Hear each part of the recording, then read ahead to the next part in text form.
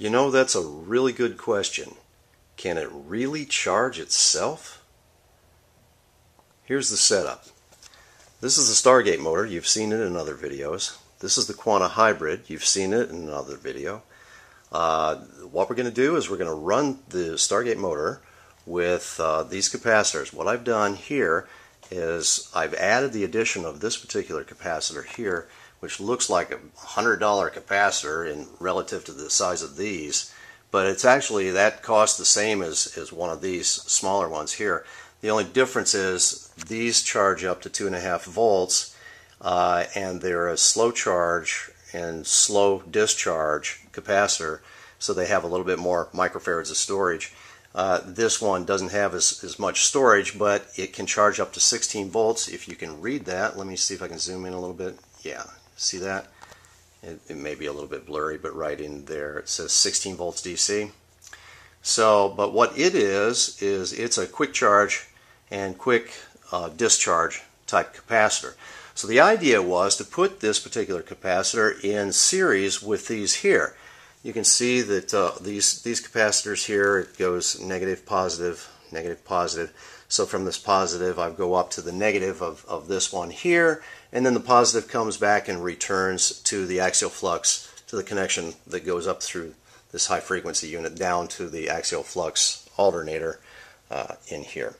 So the theory behind this is with with this larger capacitor, 16 volt storage, plus these, when they're charged up, uh, 2.5 volts times uh, 5 in series is 12.5 volts. I've explained that before. But they can charge up to you know 13, 14, 15 volts uh, without uh, harming them. So let's just call them let's just call them 14 volts added to the 16 volts. So it has a 30 volt overall capacity of, of charge. Now the idea here is we're going to take these three capacitors here and we're going to attach to the positive here and down here we're going to connect it to this red wire which goes over to the Stargate motor. The black goes to a common ground which is right down here and that's the common ground for the whole system for all the capacitors and the generator and everything.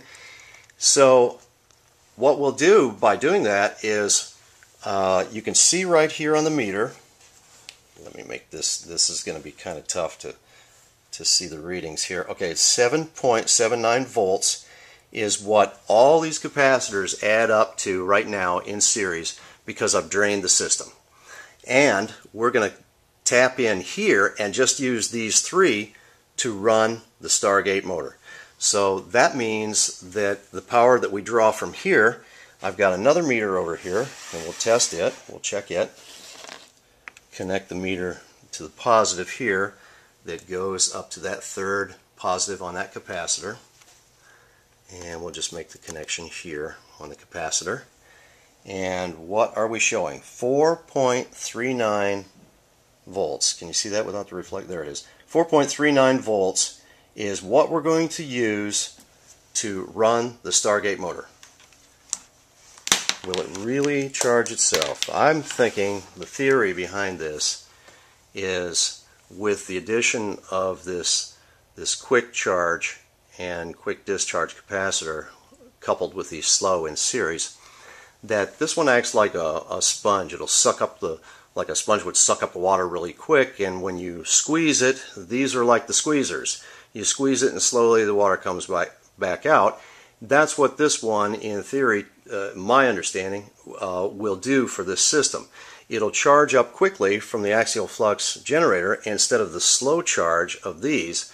In other words, if it took five seconds to charge this thing to 16 volts, it'd take about you know two seconds to discharge all that power all at one time. These, it, it, would take more like five minutes to charge each of these up. I mean, you know, collectively or individually, five minutes, and then they'll give off their their uh, uh, they'll discharge over you know uh, 10 minutes uh, time, 5 minutes to 10 minutes time, something like that. I mean, theoretically, relative to the, the quick charge of, of this in just seconds uh, versus the minutes of these.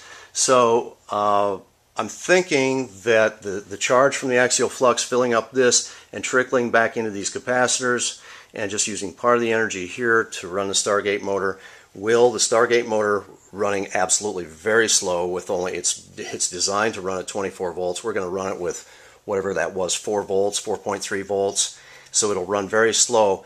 Will it be able to run turn the rotor in here generating power with the axial flux to recharge these up higher than their rated charge right now which is uh, 7.85 volts and and build up higher than 7.85 volts. If it goes to 9 volts, it'll be incredible. If it goes to 10, 12, and beyond, it, that would just be fantastic, if that's even possible. I don't know if that's possible.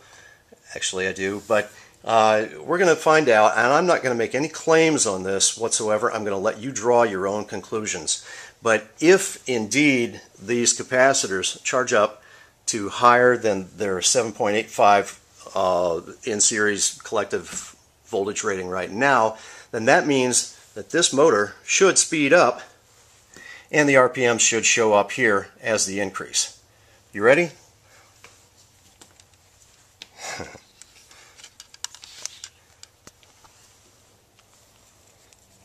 Here it goes. Okay. What's it doing? 116, 120. Oh, 12 volts. Interesting. 13 volts. 132 RPM. What have we changed? Nothing. It's coming up. 142, 44, 17 volts. Look at this increase. This is amazing. Look how fast this is going. 18 volts. 151. So the rotor is speeding up. The capacitors are charging through this closed system. Look at it. 154, 155 volts coming up. Or I mean, um, RPM. Let me shut this off for a moment.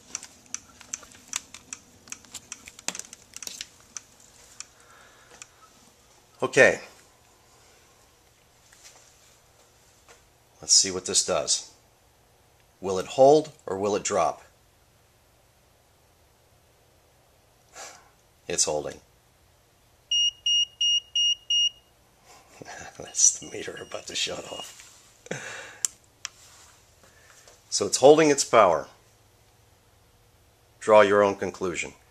I know I'm going to get a, a lot of messages on this one, a lot of comments, uh, a lot of things to explain, a lot of things I really can't explain. Um, I'm learning as well as everyone else is on, on this one.